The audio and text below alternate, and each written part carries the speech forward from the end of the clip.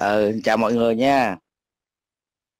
Nghe rõ không Vi nghe rõ anh ơi lại là là, là thủy tiên nữa à? Ôi trời chán không? Đầu quá nhưng mà đáng nghe cũng muốn làm nhiều người chán. nhắn tin gọi điện đủ các thể loại. Chán mấy ông này quá thì hồi chiều á anh cũng có, có một người bạn share cho anh một cái bài thì anh anh xem sơ qua thì anh thấy anh cũng có nhiều điểm anh thấy cũng buồn cười à. thì uh, chắc mấy bình luận trong đây là, là vi muốn là, là giải thích bình luận trong đây trước hay là mình mình, mình uh, cùng nhau phân tích cái cái cái bài hồi chiều này bài hồi chiều với một số cái bình luận thôi anh xem những cái bình luận nào nó hóc hóc múa những cái à thì hồi nãy giờ trong đây anh để ý sơ qua thì có bình luận của bạn đổ thì lê gì đó và chạy lên mất tiêu hết trơn rồi. Không có xem lại được. Thì bạn có những lời nói thì mình có hỏi thì mà bạn lại không giải đáp được. Thì bạn cứ đưa ra cái ý cái cái quan điểm của bạn của bạn đó thôi. Mà khi mình anh hỏi lại thì là bạn đó lại không giải đáp được. Thì vấn đề nằm ở đây là, là, là thế nào thì mình cũng chưa hiểu rõ về cái quan điểm của các bạn này. Nó khổ vậy á ví dụ như bạn có giải đáp á, thì mình còn nắm bắt mình còn biết được. Cứ lên cứ sổ quan điểm cá nhân của mình ra hào hào hào trong khi người ta hỏi lại thì à, là im lặng lại không trả lời hoặc là trả lời theo cái chiều hướng gọi là tạc ngang. Nói chung là hơi né tránh một chút vấn đề mà. Đúng không? Bây giờ thì ờ, không biết cũng chưa anh đi coi mấy phần dưới thì không thấy bình luận của bạn đó nữa. Đưa cái like gì đó bây giờ này ai mở like để xem được uh, mở. Tớ nói rồi chả ghét gì thì tiên. Thấy chối thì thấy chối thì nói thôi. Còn cái loại binh thần tượng sẵn sàng mua văn hóa với người khác tớ khinh. Thì của đỗ thị lê cầu đỗ thị lê nè. Thì tôi nói bạn nghe nè. Xin khẳng định với bạn một điều á trong diễn đàn này á, tôi dám bảo đảm với bạn, không có ai mà thần tượng thủy tiên. Cái đó là cái đầu tiên tôi xin khẳng định với bạn. Và ở đây, cái việc ở đây anh em trong diễn đàn này làm là vì cái gì? Là nói lên vạch ra cái điểm là chính cái thời điểm nhạy cảm mà làm ờ, từ thiện này là cái đám phản động ở nước ngoài nó lợi dụng vào hình ảnh làm việc, làm từ thiện của thủy tiên để nó bươi móc ra và nó bôi xấu nó gọi là nó mớm lời nó mớm chữ. Nó dẫn dắt dư luận cuốn vào cái luận điệu của nó với mục đích là gây chia rẽ anh em cờ đỏ ở trong nước. Bạn rõ ở điểm này nha. Và tôi xin khẳng định lại trong diễn đàn này không ai thần tượng thủy tiên cả. Mình nói thẳng thắn với vấn đề một câu như thế cho rõ ràng cái quan điểm. Đó. Ở đây á, thì bạn nói là vào sẵn sàng vô văn hóa là à, với người khác như thế nào đó. Thì tôi chỉ nói cho bạn thế này tôi đồng ý với bạn là trong đây có vài cá nhân, có những lời lẽ gọi là gây gắt với với cá nhân bạn. Nhưng mà có lý do của họ là vì sao? Bởi vì bạn quá cực đoan cực đoan là ở điểm nào? Bạn đưa ra những cái luận điểm của bạn.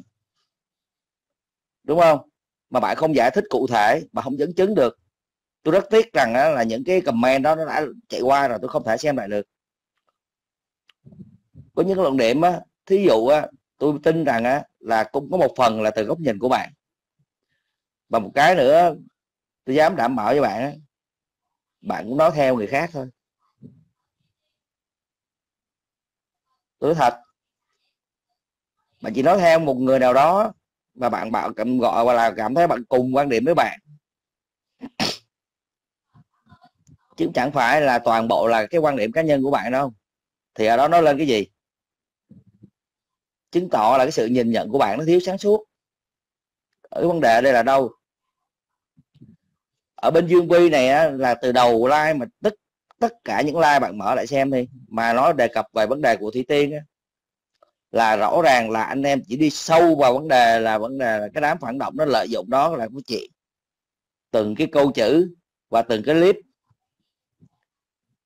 để nó lợi dụng nó xuyên tạc nó gây chia rẽ mọi người ở trong đây trong cái trên diễn đàn trên uh, đại khái là trên những cái diễn đàn gọi là của hội yêu nước hội cờ đỏ đó. Đúng không ạ? Ở đây tôi xin nói bạn này nè. Những cái clip của họ đưa lên đó bây giờ tôi không còn biết cái nguồn gốc là ai là người làm những cái clip đó? Ai cắt những cái clip đó? Nội cái chuyện này thôi là tôi đặt vấn đề với họ rồi nè. Là cái gì? Tại sao phải cắt clip? Đúng không ạ?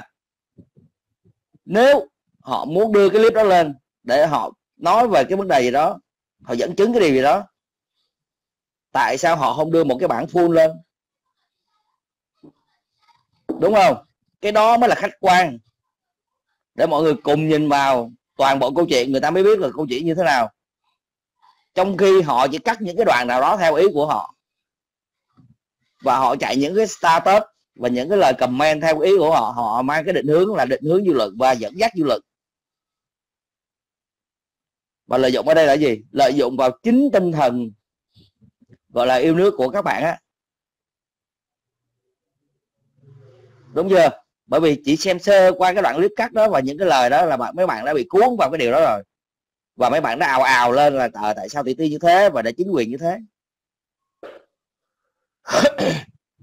Cho nên đó các bạn là người thường lên trên những cái diễn đàn này các bạn mà gọi là mang tiếng là đấu tranh thế này thế nọ các bạn phải tỉnh táo lại đi bình tĩnh lại. Bất cứ cái điều gì người nào đưa ra bạn thấy cái ý kiến nó gọi là nó có tiêu cực thì bạn phải tìm hiểu người đó là ai cái đó là cái thứ nhất. Và người đó thường xuyên đứng về cái chiều hướng nào? Và các bạn phải phân tích từng rõ từng câu chữ ở trong những cái chiều đó và bạn phải phối hợp, phải đối chiếu chứ. Chứ không phải khơi khơi mấy bạn lên rồi mấy bạn ờ, thế này thế nọ rồi cứ quy chụp thôi, đúng không? Thì kỹ năng của các bạn nằm ở đâu? Và chưa cả tôi chưa nói về cái chuyện mục đích của chính của các bạn là cái gì? Đúng không ạ?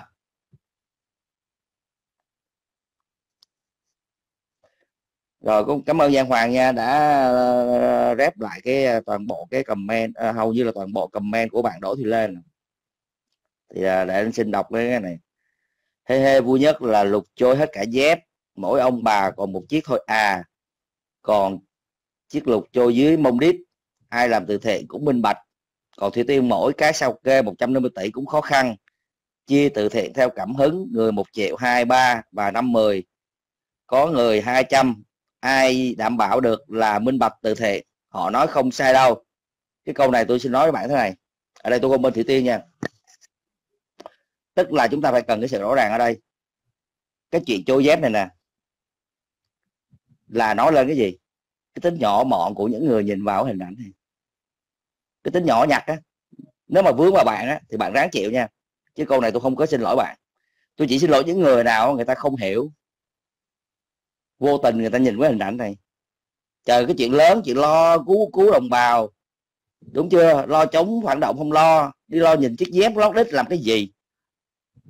Hả? Các bạn lên mạng không lẽ các bạn đi chuyên môn đi lo nhìn dép, nhìn đít người ta? Đúng không? Cái chuyện đó có đáng để các bạn đưa lên đây không? Nội cái vấn đề đó thôi là xét về tư cách các bạn là như thế nào rồi đúng không? Rồi bạn nói tiếp theo là cái gì? Ai là từ thiện của minh bạch? Mỗi cái sao kê 150 tỷ cũng khó khăn. Chia từ thiện thì gì đó? Abcd tôi nói bạn nha. Xin lỗi bạn bạn lấy cái tư cách gì bạn đòi họ người ta phải sao kê cho bạn 150 tỷ? Và tôi cũng xin nói thẳng, những cá nhân nào lên tiếng cái điều này lấy tư cách gì? Đúng không? Cái chuyện đòi sao kê này á, chỉ có những cơ quan chính quyền địa phương người ta mới yêu cầu, được quyền yêu cầu làm điều này để làm gì? Để người ta tìm hiểu rõ trong những khoản tiền đó có những khoản tiền bất minh hay không, lợi dụng thì tiên để chuyển vào cái tài khoản đó. Thì chính những người đó, cơ quan là pháp luật, người ta mới có quyền đòi hỏi cái điều đó. Nha, mọi người phải rõ ràng ở cái điểm này. Còn cái chuyện họ chia một triệu, hai triệu, ba triệu, năm triệu gì đó thì bạn nên hiểu. Thủy Tiên là gì? Là được người mạnh thường quân, ủy quyền số tiền đó cho cô ta đi làm từ thiện. Và tôi tin rằng trong cái chuyện đó là giữa cô Thủy Tiên và những mạnh thường quân đã có sự thỏa thuận ngầm với nhau là cô Thủy Tiên có toàn quyền phân chia tiền bạc cho ai là chuyện của cô Thủy Tiên. Nhưng mà dĩ nhiên là nó nằm trong cái hạn mức cho phép. Đúng không ạ? Cho nên mọi người phải rõ đó và câu kế tiếp bạn nói cái gì? Cầm tiền của bạn thượng quân mà tự tung tự tác, sao không minh bạch như bao nghệ sĩ khác nhỉ? Chị chẳng chị chẳng ghét gì cô ta, nhưng thấy làm màu lố quá. Em vào trang, cô ta xem coi bao nhiêu comment chửi chế độ chị chính quyền vẫn còn nguyên đấy. Có một số đứa còn thưởng, đòi thưởng huân chương lao động. Nữa cơ gớm thật. Cái này nè tại sao bạn không chịu hiểu? Tôi đi ngược từ dưới đi lên. Về vấn đề mà hỏi đòi thượng, đòi thử quân chương gì đó. Thì các bạn tại sao không tìm hiểu cái câu xuất phát từ đầu tiên, từ cái điểm này là ai? Và người đó ở trong nước hay ngoài nước? Và đang làm công việc gì? Các bạn xong tìm hiểu? Và chắc chắn là tôi bên cái điểm này cũng không ai tìm hiểu được. Đúng không ạ? Thì tôi suy ra vấn đề như thế này, cho bạn hiểu cái luận điệu mà đòi thần thưởng huân chương như này là cái gì? Tại sao các bạn không nghĩ là cái mồi cái mồi nhữ của cái đám phản động? Mồi nhữ ở đây là sao? Như mọi người thường nói là cái sự thả thính bởi vì họ thấy hiệu ứng. Fan ủng hộ thủy, thủy tiên quá nhiều đi. Đúng chưa? Họ đưa ra cái điều này là đa số những người mà ủng hộ thủy tiên á là họ sẽ gọi là đồng lòng. Như bạn nói là là thần tượng những fan mà gọi thần tượng thủy tiên ấy, là chắc chắn họ đồng ý cái điều này. Đúng không ạ? Thì thay vì cái điểm này các bạn là từng đấu tranh thì các bạn phải nên là, là phân tích ra cho họ thấy. Mới đúng chứ. À, phân tích ra cho họ thấy ở cái điểm này là rõ ràng là cái luận điệu của Bauer là của Phan Động này của xuyên tạc nè. Mọi người phải bình tĩnh ở cái điểm này nè. Cái đó mấy bạn mới đúng tại sao các bạn lại đi chụp ngược lại cái điều này mà các bạn đi nói người ta? Đúng không ạ? Anh ơi anh không... đọc cái con của chị ờ, Nguyễn Bích Liên mà em ghim ở trên đấy. Bây giờ hết chuyện đấy. Hết chuyện là mọi tay quanh thì cái còm chị ấy nói rất là đúng đấy. Đâu rồi? Mấy ngày nay họ hết chuyện rồi nên sẽ vào tiền. Càng nói người ta lại thấy là đánh giá thủy tiên chứ không phải đánh phá cái tiêu cực nữa. Và ẩn bớt bạ là đọc được tới đó à. thì uh, cái câu của bạn Nguyễn Bích Liên là thì rõ ràng tức là ý như bạn nói tức là hết đề tài cạn đề tài rồi. Họ không biết làm gì nữa rồi. Tức là lôi ra cho có chuyện. Có chuyện để, để nói. em đọc, để em đọc lại nguyên văn này. Mấy ngày nay họ biết chuyện của vào tiền càng nói người ta lại càng thấy đánh phá thủy tiên chứ không phải nghĩ là đánh phá cái tiêu cực nữa. Đấy. đúng rồi. Đó, rõ ràng á, là các bạn đi đấu tranh, các bạn không có sự tỉnh táo ở trong này. Đúng chưa? Còn á, cái chuyện thị tiên sai, tôi nói rồi, cá nhân ai cũng phải có sai sót không ai mà đúng hoàn toàn được. Và tôi tin rằng cái cô thị tiên sai như thế nào, sai đến đâu chắc chắn sau cái đợt lũ này. Đúng không? Thì cô ta sẽ có buổi làm việc với chính quyền giống như cô ca sĩ Phương Thanh vừa rồi. Đúng không ạ? Đúng rồi. Chúng ta phải rõ ràng điểm đó. Có công thì thưởng có tội thì phạt cái chuyện rõ ràng. Và tôi tin rằng á sai sót của thủy tiên tôi nghĩ đó cũng không đến mức mà gọi là nghiêm trọng tại vì sao? Cái sai sót đó có thể hiểu. Hiểu là cái gì? Áp lực công việc quá nhiều đúng không? Và cái mấu chốt vấn đề á là các bạn phải hiểu ở cái điểm này nè. Cũng là cái nút thắt của vấn đề luôn. Là cái gì? Là không một ai ngờ cái số tiền nó sẽ lên tới 150 tỷ. Đúng. Không ạ? Và khi số tiền nó đâu nó tăng lên con mức đó rồi thì tại sao? Là mọi người hầu như là bất ngờ. Và bất ngờ sẽ là cái gì? Dẫn lên cái sự gọi là gọi, gọi, gọi là gần như là vỡ trận. Mà đã vỡ trận rồi á thì chắc chắn sai sót có xảy ra. Đúng không? Tại vì chúng ta không có sự chuẩn bị chu đáo. Thì chúng ta khi làm công việc do cái thời gian thế này thế nọ và do bà con là rất là nhiều người cần những cái khoản đó thì cái sai sót này là khó tránh khỏi chúng ta phải hiểu điều đó chứ những cái điểm như thế thì các bạn không lo đi các bạn đi phân tích cho người, người, người, người dân người ta thấy mà các bạn cứ so các bạn cứ chiếu vào thi tiên thì các bạn nghĩ lại đi các bạn đang làm cái công việc gì và các bạn thường lên đây các bạn hô hào các bạn đấu tranh thế này thế nọ đó vì mục đích gì sao các bạn không ngồi mà bình tâm các bạn ngồi xét lại đúng không làm là tiêu chí. Các bạn đã đưa ra trước khi các bạn vào cái việc này. Các bạn đã có tiêu chí riêng tôi tin. Cá nhân ai cũng có một cái tiêu chí riêng hết. Và một cái tư tưởng riêng. Đó, đó mình ngồi xét lại đi. Cái tư tưởng của mình như, đi, đi như thế có đúng hay không? Cái tiêu chí của mình đưa ra vậy có hợp lý hay không? Có đúng đắn chưa? Thì lúc đó các bạn mới đi nên, nên đi phán xét người ta. Đúng chưa?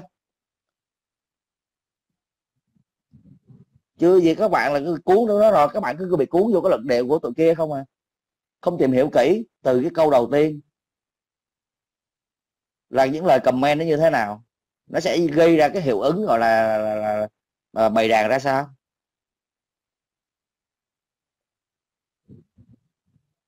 Còn trường hợp cái fan cuồng thì ở đây là tôi chưa bàn tới. Các bạn cũng thừa hiểu rồi. Những thành phần fan cuồng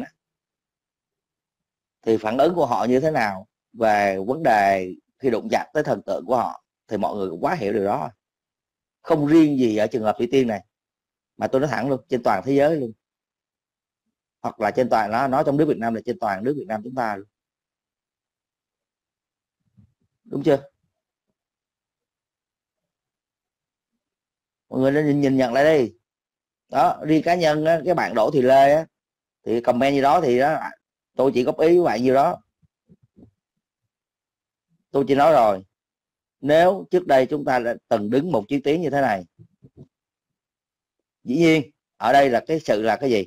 Xin nói thẳng với bạn nha ở đây không phải là nói ra để đả phá nhau hay đả kích nhau mà chúng ta đều nêu những hai quan điểm ngược ra với nhau ai thấy mình thiếu sót cái gì nên chỉnh sửa. Và từ sau cái chuyện này trở đi, chúng ta vẫn là đồng đội, vẫn là anh em ở trên chiến tuyến này. Thế thôi. Chứ không có gì phải gút mắt trong vấn đề này. Rõ ràng ở cái điểm đó. Đúng không ạ? Rồi để rồi xong thì giờ anh ờ, để anh coi lại cái mấy cái kia, rồi anh ờ, góp ý thêm với Dương Vi và cái cái bài mà chiều mà bạn anh uh, chia sẻ với anh được không? Hay là muốn em đi MV muốn đi tiếp gì nữa? chú Nguyễn Thị Bích Liên là ấy không biết là chị còn lại có được không? Mấy người nhận là... mấy người tự nhận là cờ đỏ là yêu nước.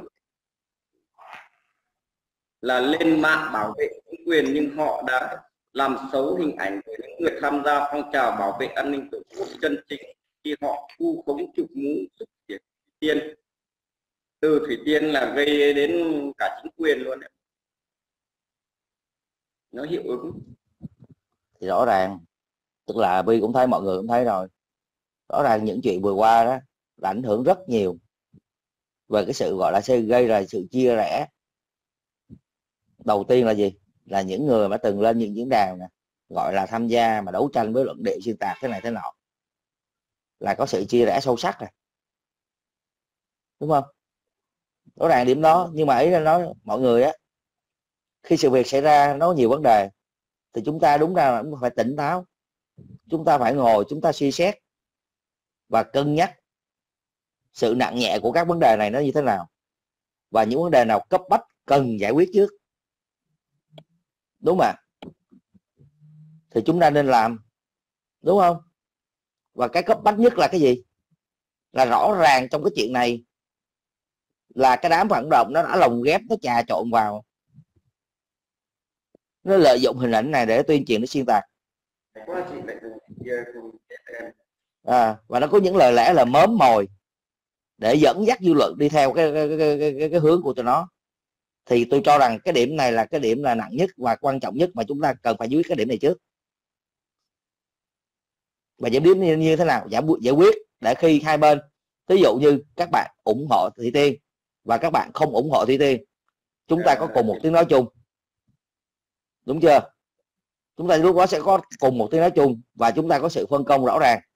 À, thì thí dụ như bạn mà chưa ủng hộ Thủy Tiên thì các bạn cứ lo bảo vệ cái hình ảnh của chính quyền. Đúng chưa?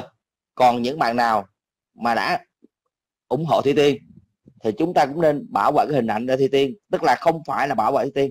Đúng chưa? Nhưng bảo vệ hình ảnh đây là gì? Để cho những trường hợp về sau này có những người người ta sẽ mạnh dạng người ta đứng ra người ta đi quyên góp tiền để cứu trợ bà con. Chứ giờ các bạn cứ như thế tôi hỏi các bạn nhé. Ví dụ sau này có chuyện xảy ra vấn đề gì đi? Ai dám mạnh dạng đứng ra nữa? Và tôi chỉ nói một cái điểm này nè. Tôi xin nói thẳng một cái điểm này các bạn nên nhìn nhận một điểm này. Trong cái buổi live hôm nay buộc tôi phải nói. Đúng ra tôi không nên nói cái điều này ra nhưng mà cái nước đã đến cái chuyện này rồi, thì tôi buộc phải nói là cái gì? Giờ các bạn thử hình dung đi. Lúc mà số tiền lên 150 tỷ, ha, thí dụ thủy tiên bị áp lực của những là dư luận và sức ép của cái đám mà phản động nước ngoài nó kích động á, thủy tiên bảo là sẽ không làm nữa và trả, trao trả số tiền này lại cho chính quyền giải quyết. Thì các bạn thử hình dung đi sau đó điều gì sẽ xảy ra? Đúng chưa? Chị đợi xíu để anh phân tích nốt cái đoạn này này đó. Sau đó điều gì sẽ xảy ra? Với cái luận điệu của cái đám phản động nó chụp vào. Mọi người nên nhớ trước cái vụ thủy tiên là cái đám phản động nó đã ra rã nó chụp mọi đề tài suốt 45 năm nay, để nó xuyên tạc, nó chống phá rồi chứ không phải là đợi tới tới cái lúc mà cái tình hình lũ của Thủy Tiên này nó mới nó mới chống phá. Cho nên mọi người phải tỉnh táo.